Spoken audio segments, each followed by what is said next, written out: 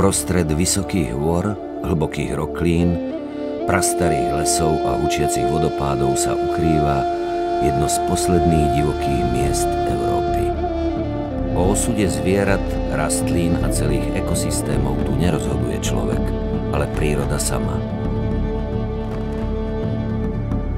Tichá dolina so svojou menšou sestrou Kôprovou predstavujú takmer 100 km štvorcových slobodnej prírody uprostred mora civilizácie.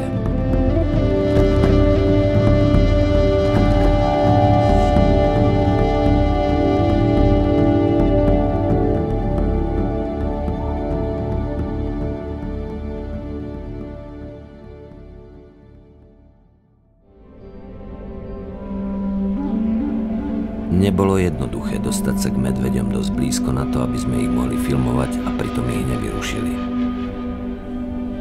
Museli sme sledovať, odkiaľ fúka vietor a dávať si pozor, aby nás nespozorovali. Keď vietor menil smer, jednoducho sme sa nepribližovali. Vyrušenie medveďa by pre nás znamenalo koniec filmovania. Zostal by v nás len zlý pocit z narušenia divokej prírody, na dobrý záber sme preto niekedy čakali aj celé týždne. Najviac sme si vážili, keď sme mohli dlhé hodiny pozorovať medvede bez toho, aby o nás vedeli. Je to takmer zázrak, že uprostred Európy ešte stále existujú útočiská, kde smú medvedice nerušene vychovávať svoje mláďatá. Cítili sme sa, ako by sme sa preniesli tisíce kilometrov na východ Guralu alebo stovky rokov do minulosti.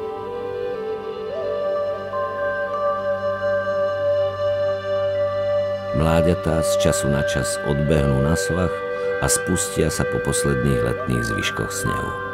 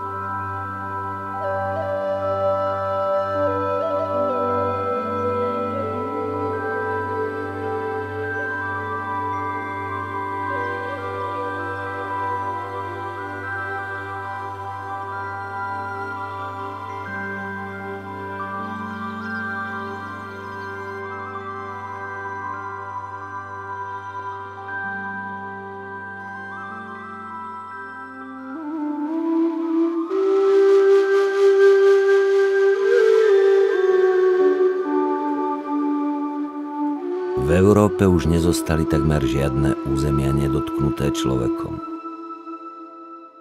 Divočina sa však vracia späť do území, odkiaľ ju kedysi vyhnal.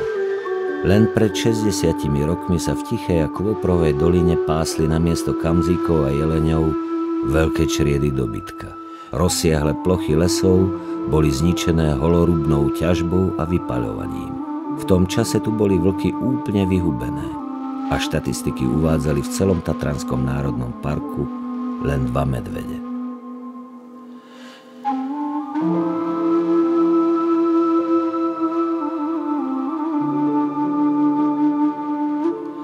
Odvtedy sa všetko zmenilo. Tichá a Kôprová dolina sa stali bezpečným domovom pre viac ako 40 medveďov a každoročne tu vyvádza mláďatá jedna svorka vlkov pralesné druhy organizmov sa vracajú späť do svojich pôvodných teritórií. Fascinujúce dôkazy o neuveriteľnej sile prírody svedčia o tom, že niečo podobné sa môže odohrať kdekoľvek vo svete. Treba len prírode ponechať dostatok priestoru a času. Ak jej to dovolíme, stane sa pre nás miestom inšpirácie ducha. Miestom, kde sa môžeme stretnúť s divokými zvieratami, túlať sa starými lesmi.